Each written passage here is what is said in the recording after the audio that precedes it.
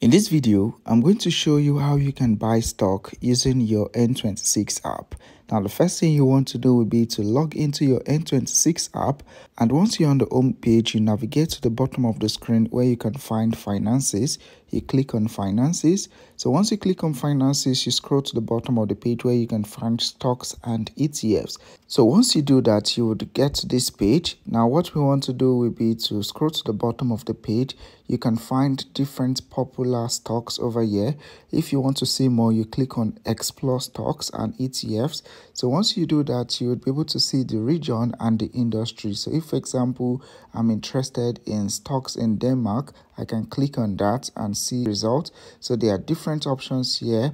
So if I'm interested in buying this stock, I just click on the stock and I can read different informations over there. You can see the dividends per share, the dividend yield, the profitability, and also some details about the company you intend to buy their stock. So immediately you are interested or you feel that this stock is the best option for you, you click on invest and that's all. Your money will be deducted from your main account and it will be kept in a portfolio for you. I hope this video is helpful.